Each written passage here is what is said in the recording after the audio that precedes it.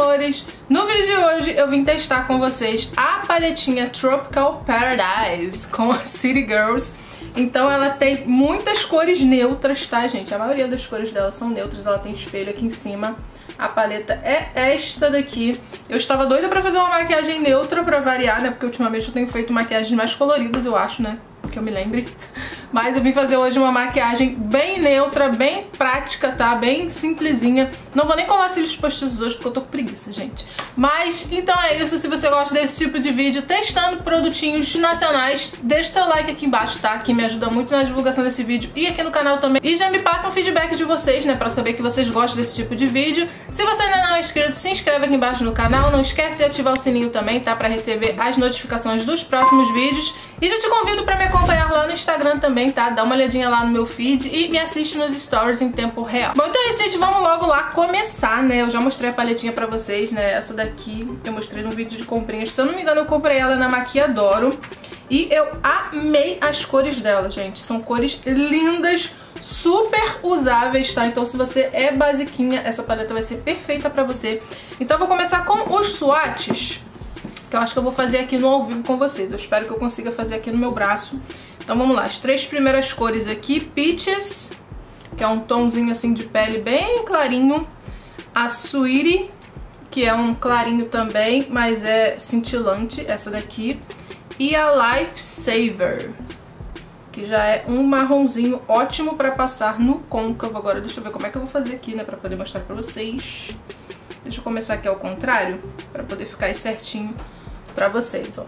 Então essas daqui são as três primeiras cores. Vamos para a segunda fileira, que tem a Scoot, Scoot, Scoot. Não sei se é assim que fala, mas é um dourado lindo que eu já quero usar. Tem a Fire, que é um vinho assim, né? Bem bonito. E a Cotton Candy. Gente, essa Cotton Candy também tá linda, ó. Essa daqui. Tem um fundinho rosado, mas com brilho dourado. Então deixa eu passar as três aqui. Essa fileira são só com cintilantes. Essa vinho aqui, ela esfarelou bastante, mas é porque ela é bem macia. Ó, oh, que linda, gente. Essa daqui, Cotton Candy, é maravilhosa. Deixa eu limpar minha mão aqui e ir para a última fileira, que temos a Blissful, que é um marronzinho bem clarinho a Innocent, que também é igual a Fire, Fire aqui de cima, que ele é um alaranjado assim bem brilhoso. E a Tempting, que é um marrom mais escuro. Então estão as três aqui. Esse marrom tem cor de chocolate, gente, que delícia. Ó, então as três últimas... Já, nossa, eu fiz totalmente torto, né? Mas acho que tá dando pra vocês verem aí, ó, as três últimas cores aqui. Então essas são as cores essa daqui do meio quase não tá aparecendo pra vocês porque é aquele marrom bem clarinho ali, né? Então essas são as cores, eu amei. E gente, como vocês viram, essa paleta tem nove cores, né? Então, obviamente, eu não vou conseguir usar todas as cores aqui com vocês agora, mas eu estou com um projeto no papel ainda, faz tempo, pra fazer pra vocês lá no Instagram, tá? No IGTV. Então eu vou colocar esse projeto do papel para a câmera finalmente.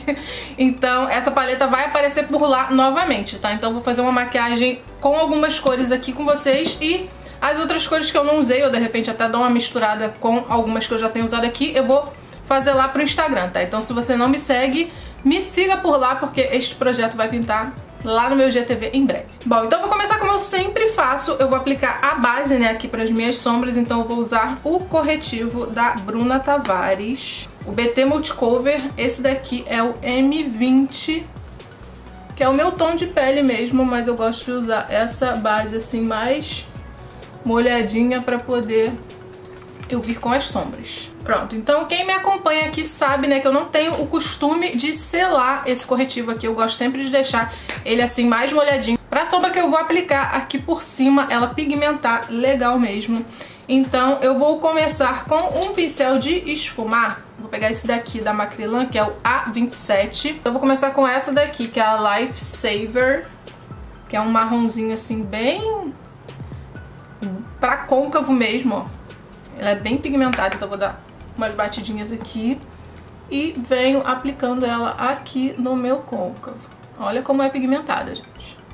Por isso que eu não gosto de selar a pálpebra, porque selar a pálpebra ela ajuda a esfumar a sombra. Se ela não for muito boa de esfumar, ajuda a esfumar melhor, porque com o corretivo a sombra gruda aqui, depois algumas pessoas podem ter dificuldade para esfumar. Mas eu gosto porque ela fica bem mais pigmentada, né? Dá a pigmentação completa da sombra.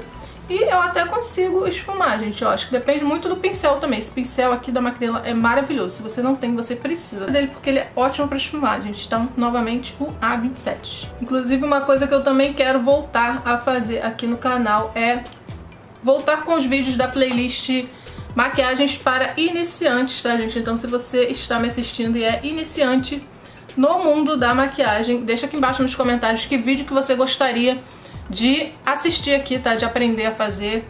Tem alguns já aqui na playlist, eu vou deixar a playlist aqui em cima nos cards pra vocês. Pra quem é iniciante lá dar uma olhadinha pra ver se tem alguma coisa lá que já te ajuda, né? Então, se você quiser assistir alguma coisa específica, deixa aqui embaixo nos comentários que eu vou voltar com essa playlist em breve, tá, gente? Então, apliquei aqui essa Lifesaver, ficou assim, ó. Bem linda essa cor, inclusive pra fazer um olho inteiro, sabe? Esfumado assim, marrom só com ela. Achei bem bonita. Vou pegar um de aplicar sombras também, ó, mas assim menorzinho. Esse daqui é velhinho, da contém um grama.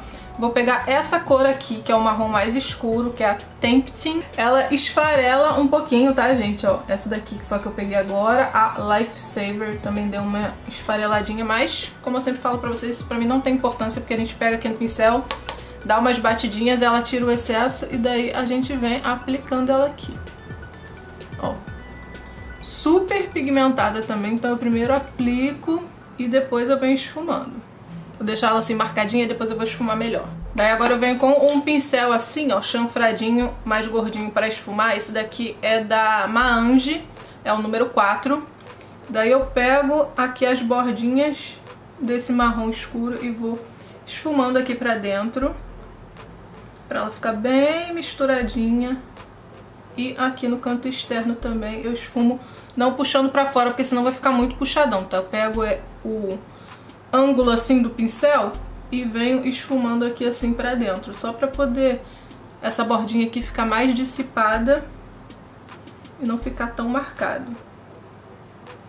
Pronto, daí eu venho com aquele meu primeiro pincel A27 da Macrilan e faço isso aqui assim do lado de fora, sem nada no pincel mesmo, tá? Só com a sombra que restou aqui no pincelzinho mesmo, só pra dar mais uma esfumada aqui, ficar mais bonito. Tá, qualquer coisa depois a gente dá uma retocadinha. Agora eu vou pegar um pincel menorzinho, vou pegar esse daqui, que eu comprei lá no Shopee também. Esse daqui é da Maange também. Daí eu vou pegar esse tom aqui mais clarinho, que é a Peaches. Pegar com esse pincel aqui e vou iluminar, entre aspas, aqui o arco da minha sobrancelha só pra dar uma limpadinha aqui. Ela não tem brilho, né? Então ela não vai iluminar, ela só vai dar essa limpadinha mesmo. Mas eu vou aplicar depois a outra aqui do lado. Ó. Deu só uma limpadinha e agora eu vou vir com essa Sweetie aqui. Com o mesmo pincel. E agora sim, uou! Veio até demais aqui pra baixo, gente. Então eu volto com o pincel chanfradinho e vou dar uma esfumada aqui pra poder ele sumir um pouquinho, porque tava descendo muito, né? Ficou esquisito. Gente, ela é muito iluminadora. Será que essa sombra serve pra usar como iluminador também? Acho que serve, hein? É porque eu já tô com iluminador, né? Mas eu vou pegar um pouquinho dela, no dedo assim mesmo. Vou dar... Vou dar só uma incrementada aqui. Foi demais. Gente, é ótima pra usar como iluminador essa sombra, hein? Anota essa dica aí, gente. Eu vou até pegar o pincel aqui e vou espalhar mais um pouco. Mas maravilhosa essa cor pra usar como iluminador. Inclusive tem uma outra aqui também que eu também acho que serve como iluminador. Mas não vou tacar o de não, tá, gente? Só essa daqui já está belíssima. Tá, e agora sim a gente vai vir com as sombras brilhosas. Eu vou... Não sei, gente, eu tô na dúvida porque eu queria usar muito essa daqui. Queria usar muito essa daqui Cotton Candy também. Acho que eu vou começar com a Cotton Candy. Vamos ver, ó. Ela é um pouquinho mais rosada, então eu vou pegar com o dedo mesmo, porque essas sombras brilhosas ficam melhor aplicadas com o dedo. E olha que coisa linda, gente. Gostei, Dona City Girls. City Girls. Eu ainda não... Acho que eu não tinha testado nenhuma paleta deles. Mas eu gostei bastante. Super pigmentada. Fácil de esfumar. Essa sombra brilhosa que quando a gente toca nela a gente percebe o quão macia ela é. E gostei. Acho que vou comprar outras paletas dessa marca pra poder testar com vocês. Ó. Ficou assim. Daí agora eu vou pegar aquele pincel que eu apliquei o marrom mais escuro. Essa Tempting. Vou pegar mais um pouquinho dela, bem pouquinho mesmo. E vou dar só uma mesclada aqui. Dar umas batidinhas assim só pra mesclar com essa sombra que eu apliquei agora. Tá, daí agora eu vou pegar um pincel lápis. Esse daqui assim, ó, com a pontinha... Opa! Com a pontinha bem fininha. Esse daqui é da The Maker.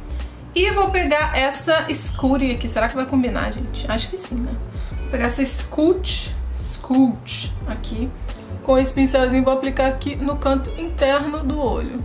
Ela é um pouco mais escura do que o que eu pensava pra poder fazer isso daqui, né? Mas agora já foi.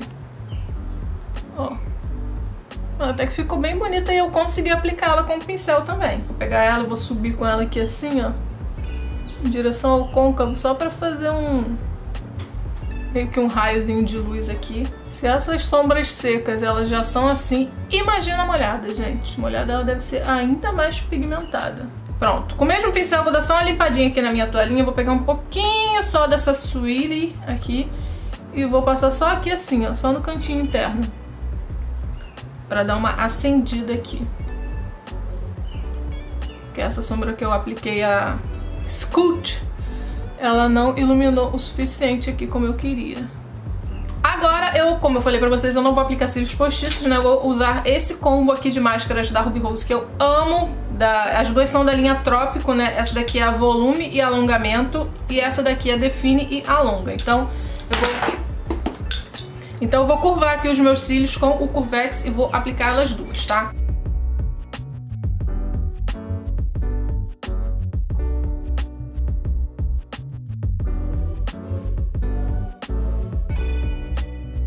Prontinho, gente. Então apliquei aqui a máscara de cílio, as máscaras, né, que eu usei as duas. Eu amo esse combo, gente, sério. Perfeito. Pra quando eu não quero usar cílios postiços, eu adoro esse combo de máscaras da Ruby Rose. Então agora eu vou fazer aqui a parte de baixo dos olhos. Eu vou... Eu vou fazer o quê? Eu vou começar com essa Lifesaver aqui.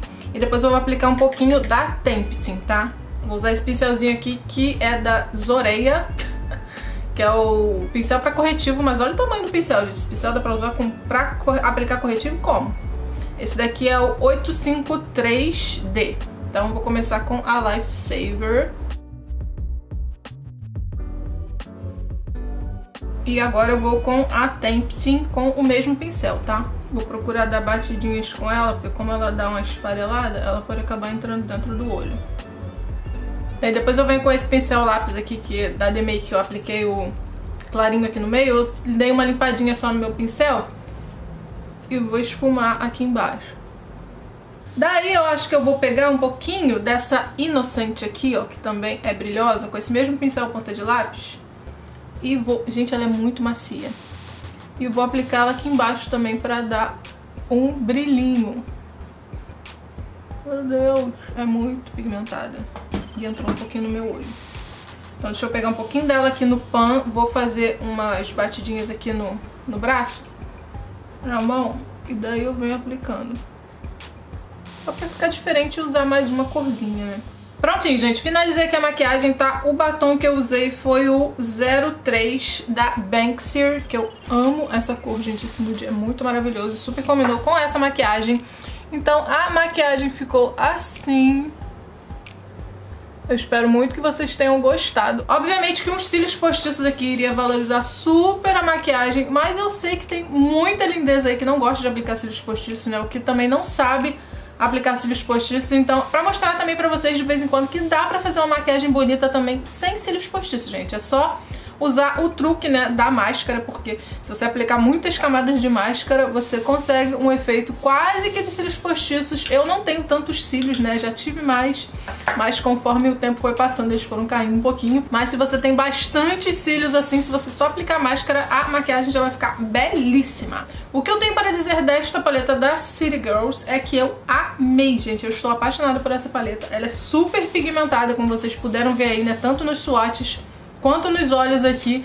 Ela esfuma super bem, então eu gostei também disso, porque é fácil, né? Então pra quem não tem muito costume de maquiar e as sombras muito pigmentadas são mais difíceis de esfumar. Então essas não são assim, essas são super fáceis de trabalhar. Amei a cartela de cores. Eu, se eu não me engano, essa Tropical Paradise, eu acho que ela tem uma outra versão. Eu vou dar uma olhada lá depois. E se eu encontrar uma outra versão dessa daqui, eu vou comprar também pra testar aqui com vocês, gente, porque eu amei. A embalagem é linda, né? Olha isso, toda rosinha, cheia de folhinhas assim, né? Super tropical mesmo. Então eu amei e tá super aprovada essa palhetinha, tá? Então se você gostou desse vídeo também, deixa seu like aqui embaixo, tá? Aqui me ajuda muito aqui no canal. Se você ainda não é inscrito, se inscreve aqui embaixo. Não esquece de ativar o sininho pra toda vez que eu postar de novo por aqui, você vir aqui me ver. Já aproveita e compartilha também esse vídeo com uma amiga, de repente, que é iniciante como você, ou que queira comprar né, uma paleta assim mais básica, que seja basiquinha também. E eu espero que ela goste desse vídeo. Também se inscreva aqui no canal e seja parte do time de lindezas. Se você não me acompanha no Instagram, eu vou deixar aqui na tela, tá? Pra você ir lá dar uma olhadinha no meu feed e me assistir nos stories em tempo real. E é isso, meus amores. Um beijo, fiquem com Deus e até a próxima. Tchau!